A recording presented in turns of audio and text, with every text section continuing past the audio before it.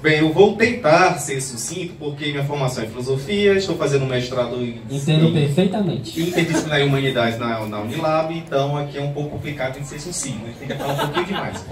Mas o teu comentário, me pergunta embutida do comentário, porque eu fiquei me segurando na primeiro, no primeiro momento, e depois do que ela falou, eu consigo verificar um, um link com o Papo Nerd.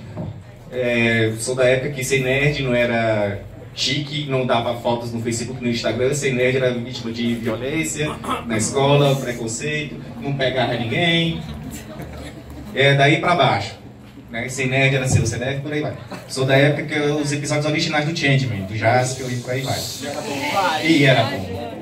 Ainda hoje é bom. É a conexão Me identifiquei.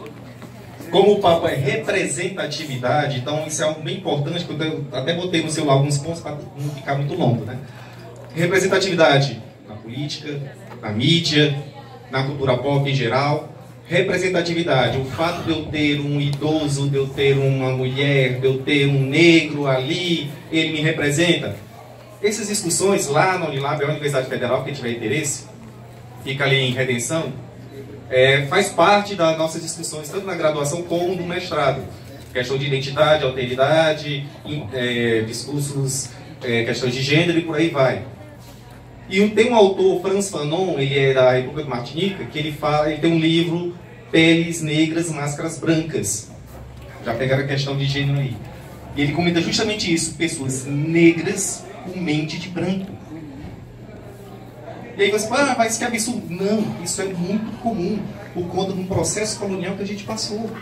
O Brasil vivenciou, inclusive faz parte da minha pesquisa também, sobre essa questão da identidade do brasileiro. Ah, nós, a maioria é mulher, como o colega que falou. Sim, e por que, que ainda assim as mulheres sofrem tudo isso? O fato de você nascer com órgão genital, vagina ou não, não quer dizer que você vai ser defensora da mulher. Você pode ter uma cabeça machista. E é só o que nós temos, mulheres machistas. Tem um filme, a, é, a Mão que Balança o Berço, a mão que, que domina o mundo.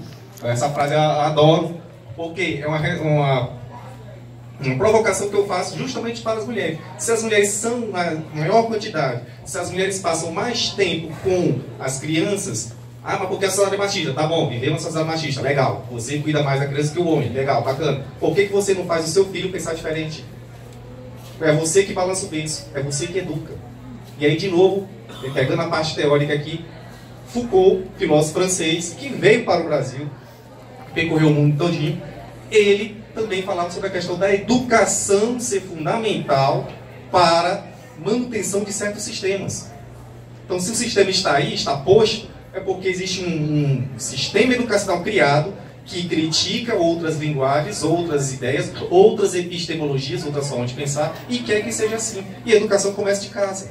Que aí nós temos um, um filósofo muito conhecido, Cortella, Mário Sérgio Cortella, vai ter vídeos no Facebook dele com Clóvis Barros Filho, entre outros, que ele fala justamente isso. Escola escolariza, família educa. Olha aí, a educação começa no berço. A mão que balança o berço está fazendo o quê?